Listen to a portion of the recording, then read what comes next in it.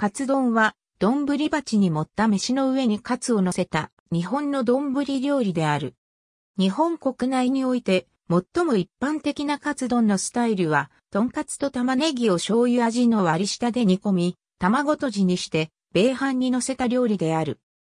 単に、カツ丼と呼んだ場合は、一部地域を除いてこの形態を基本とする。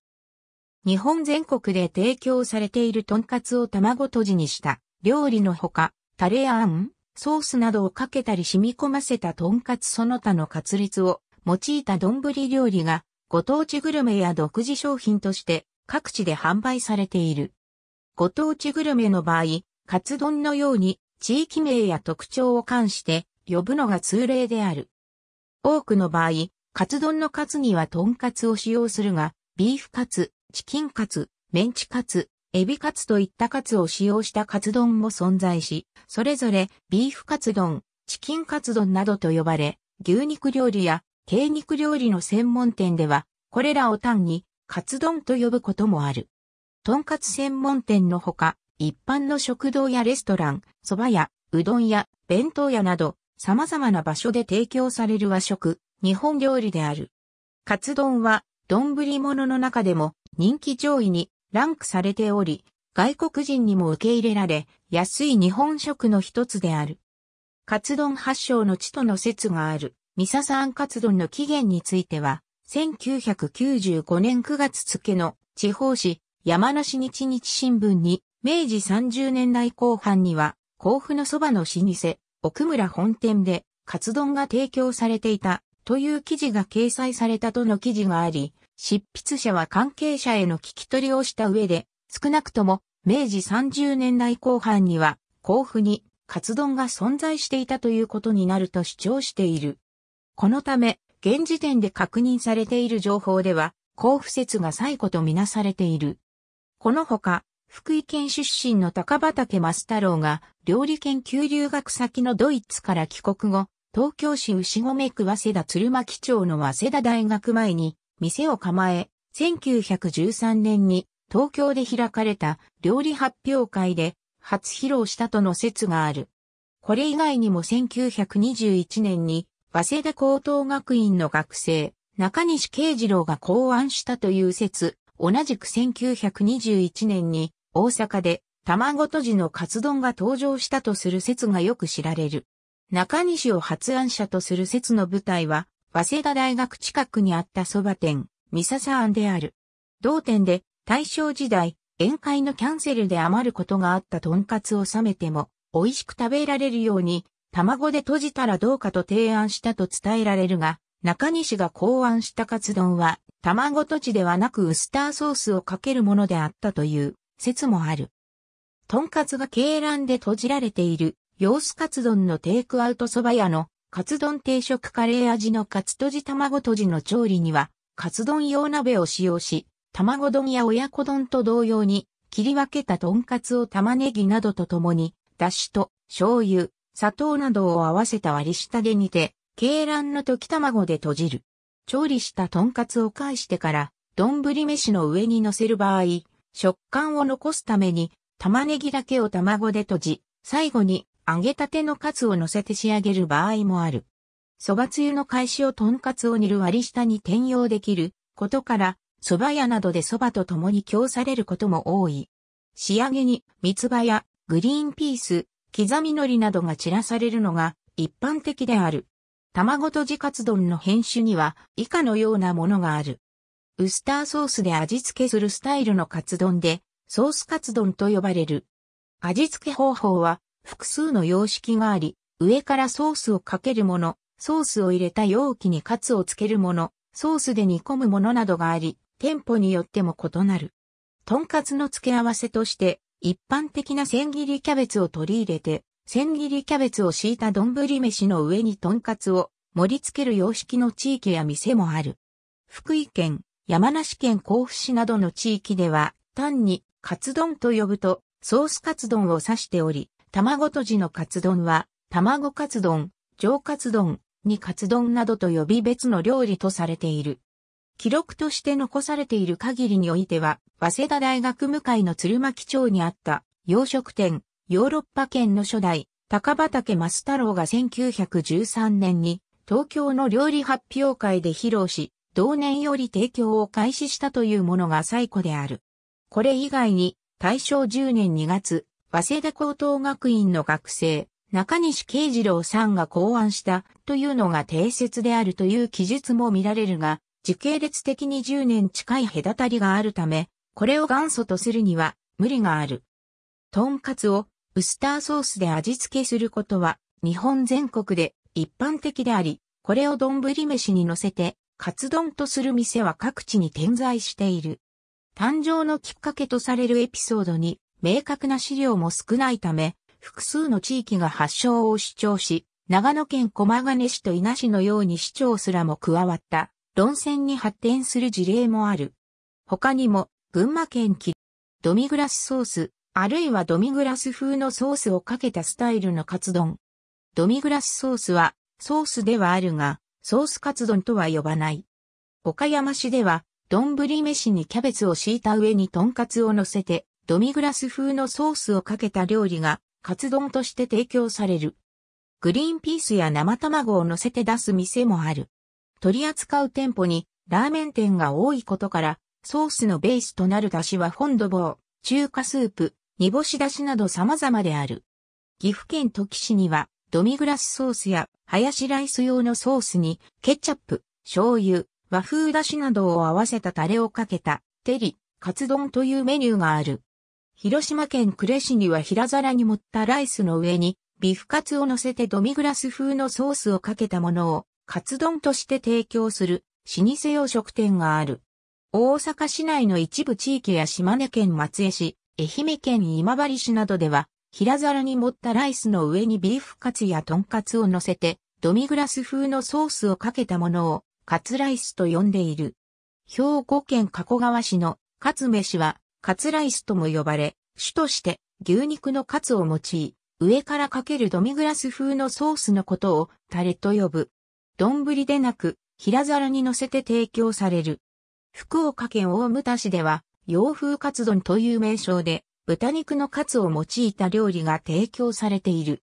新潟県長岡市でも、洋風カツ丼という名称で、豚肉のカツを用いた料理が提供されているが、ソースはドミグラスソースの他に、ケチャップベースのものもある。北海道根室市を中心にした地域に見られるエスカロップは、トンカツをケチャップライスに乗せてドミグラス風のソースをかけ、平皿で提供される。トンカツを醤油味のタレで味付けして、丼飯の上に乗せるスタイルのカツ丼。新潟市の醤油だれカツ丼、群馬県下仁田町の下仁田カツ丼、埼玉県小鹿野町のわらじカツ丼、飯の上に海苔を敷いて、カツを乗せタレをかける、クンネップカツ丼などが存在する。群馬県安中市のタルタルカツ丼は、醤油だれがかかったトンカツの上にタルタルソースが乗せられている。また、トンカツに醤油をかけた醤油カツ丼が岐阜県中津川市や福井県大野市など店舗単位では全国各地に存在する。味噌カツ丼愛知県名古屋市周辺では卵とじのカツ丼以外にも八丁味噌を用いた郷土料理の味噌カツからの派生である味噌カツ丼が提供されている。味噌カツ丼は全国チェーンのカツヤや松の家などでもメニューに採用されており、東海地方以外の地域においても一定の認知度を獲得している。卵あんのかかったカツ丼の一例トンカツに、とろみのあるあんをかけるスタイルのカツ丼。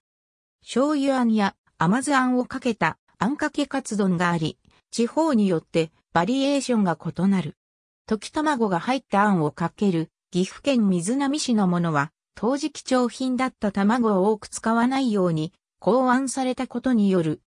ウスターソース味のあんをかける岩手県一関市のものは、つゆが飯に染みないように考案されたもの。静岡県富士市では、平皿に盛ったご飯の上に茹で、キャベツとトンカツを乗せ、溶き卵をそばつゆで伸ばしたものをかけた料理が、カツ皿という名称で提供されている。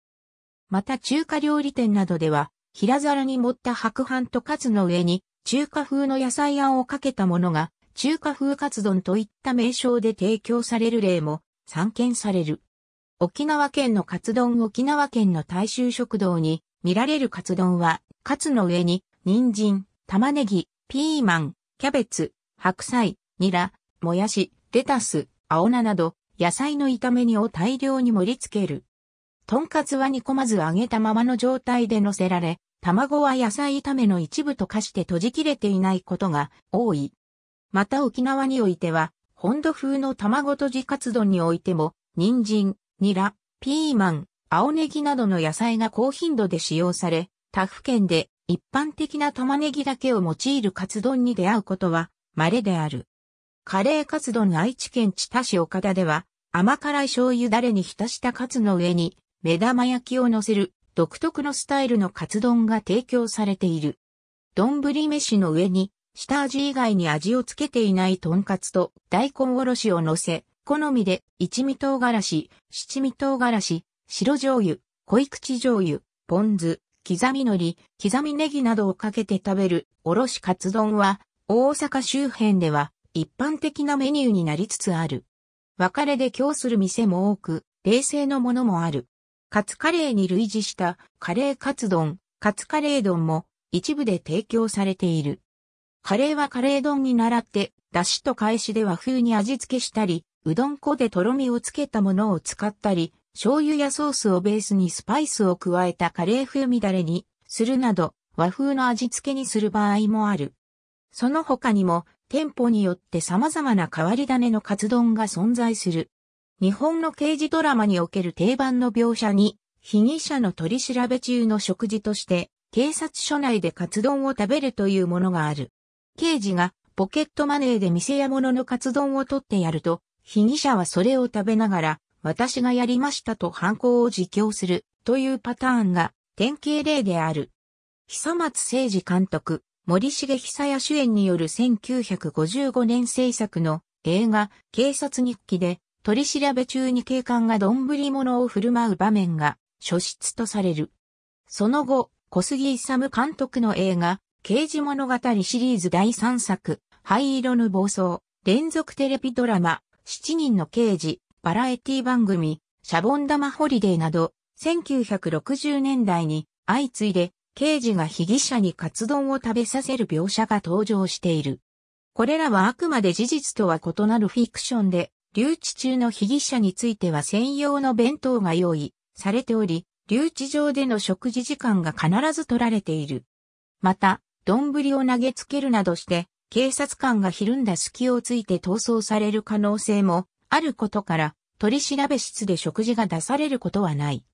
ただし任意同行時などでの逮捕前の取り調べで、出前を頼むときに、被疑者の選択でカツ丼を選ぶことができる場合はあるが、その費用は被疑者の自己負担となる。なお、警察官が費用負担した場合は、利益誘導として裁判の際に供述の任意性が否定される場合がある。ただし、過去に実際の取り調べでも刑事が出前を取り寄せるケースがかなりあった。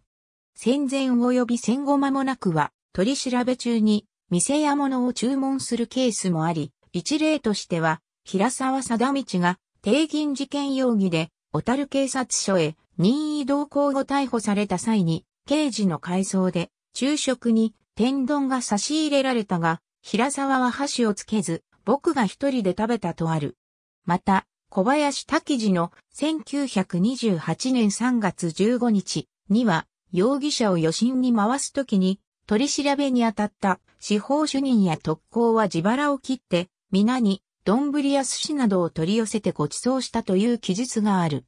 2006年9月6日、埼玉県警所沢警察署の警部が、暴力団関係者である被疑者に、接見室ではなく取り調べ室で家族と接見させる、被疑者の両親の知人が持ち込んだカツ丼を取り調べ室で食べさせるなどの便宜を図り、減給10分の1の懲戒処分を受けた。